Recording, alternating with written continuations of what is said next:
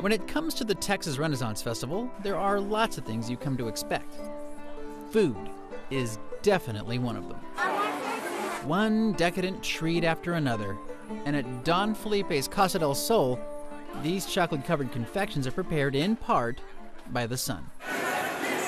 Yep, up there, seemingly unnoticed by passersby, are four solar panels installed by Phil Perry. The idea of putting solar panels in the middle of a Renaissance theme park was a little different, but that's what makes the Texas Renaissance Festival work. And work is exactly what these solar panels do.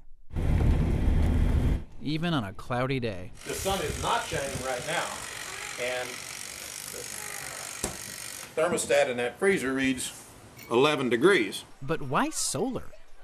Why here? When I bought the business, it came with a very good location, a cart where I sold fruit, and I had it for five years or more. And one day I was told that there was too many carts in the festival. And they said, but you can't have any power. And as the saying goes, necessity is the mother of invention. I just assumed that I would find a propane freezer. And I found a survivalist outfit in Montana that had propane freezers. But they also had solar freezers. Unfortunately, going solar isn't as easy as slapping a couple of solar panels on the roof. You need to find the right equipment, and you need to know how many panels you need. The freezers are designed to run on one panel. But because we have to be open on cloudy days, we bought two panels for each freezer.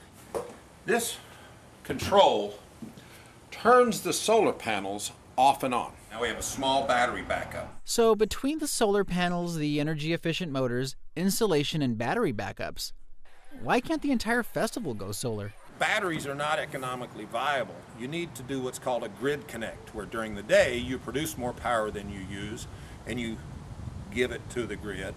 And then at night, when you use more power, when you come home, you they trade it back to you. For 10 months, we'd be using almost no electricity, but and we'd give them a lot of electricity. But unfortunately, looking at it from their side, for two months we need this huge amount of electricity. So they got to have all this generating capacity just for two months when we use it. So it, it's understandable that that's not in their best interest. So for now, Don Felipe's will have to be the only solar powered stand at the Renfest. But that isn't keeping Phil Perry from taking a show on the road. I do a show down in uh, Corpus Christi. I show up with my solar panels, and they flat don't believe me. They don't believe I have a freezer working on solar panels. People come over constantly trying to find me running a generator. So, to all the doubting Thomases out there who still don't believe, Phil Perry would like to invite you out to the Texas Renaissance Festival to do a little investigating of your own. And he wouldn't mind if you bought a few of these chocolate covered treats. You know, to keep your energy up.